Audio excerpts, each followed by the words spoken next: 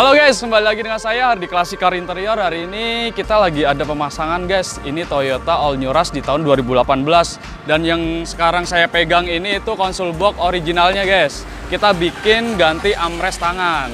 Jadi konsul box ini kita copot tanpa ada yang kita rubah. Hanya sebetulnya kan ini tambahan aja guys. Jadi bautnya cuma satu, dia masuk seperti ini. Nah konsul box atasnya naik turun.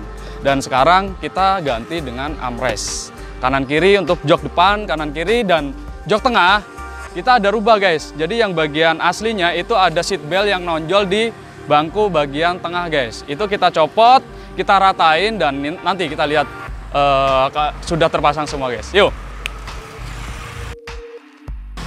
Nah ini dia guys, udah terpasang, teraplikasi di sini dan di sini itu di bawahnya. Tapi kalau konsol boxnya ini tanpa dicopot, kita nggak bisa pasang armrest ini guys. Jadi enak nih.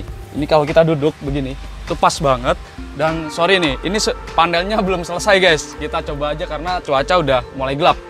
Nah di sini itu pas kanan kiri, seperti kayak udah kita jadi raja guys. Enak banget nih, kanan kiri sudah pakai uh, armrest, kanan sini juga nanti ada dan konsul box ini sementara tidak di, bisa dipakai karena uh, ini harus disimpan. Jadi suatu saat, suatu saat nanti mobil mau dijual itu tinggal dijual guys, tinggal dipasang ulang lagi. Dan coba kita lihat yuk uh, yang bagian jok tengah.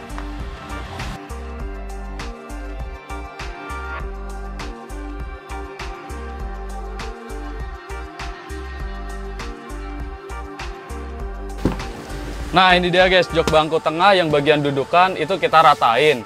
Pastinya tahulah kalian yang punya Toyota Rush yang 2018 ini di jok bangku tengah ini sangat mengganggu guys. Tapi kalau kita sudah pasang diratain seperti ini, kita coba dudukin. Hmm. Kita duduk di tengah, itu di bokong, jadi gak ngancel guys. Lebih enak. Jadi kita mau bertiga itu enak bener di tengah. Ya satu kanan kanan sama kiri kita di tengah. Itu udah nggak ganggu banget. Kalau yang originalnya itu kalau nggak di, nggak dirubah buset. Sakit betul guys karena seat beltnya itu keras. Sekeras hati lah. Nah ini guys. Nah ini nanti kita lihat keseluruhannya dan yang kita kerjakan itu bagian jok door trim. Panel-panelnya itu sudah kita kerjakan menggunakan materialnya sintetis tapi yang kelas premium guys.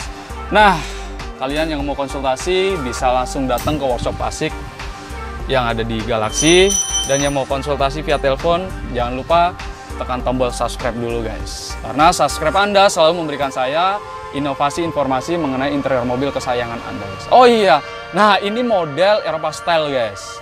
Ini model sangat laku nih di klasik car interior. Karena patennya klasik ya ini modelnya sangat luar biasa.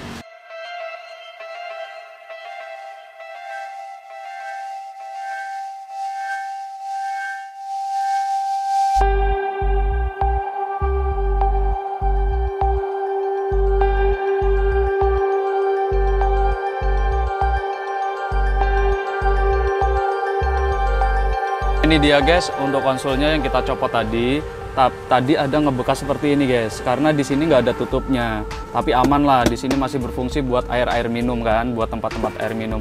Kalian pasti banyak kepengen tahu karena kenapa Toyota Rush bisa dipasangin armrest. Nah inilah kurang lebih seperti ini.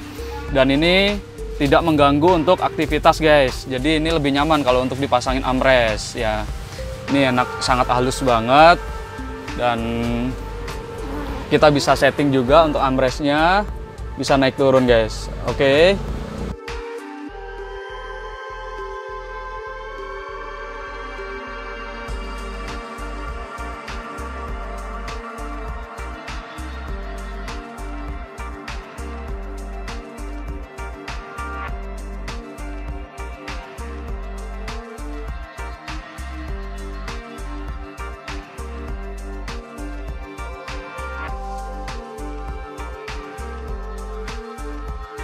Oke okay guys, thank you ya sudah melihat YouTube channel saya. Yang mau datang-datang dulu nggak apa-apa, yang mau nanya-nanya dulu nggak apa-apa. Oke, okay, thank you.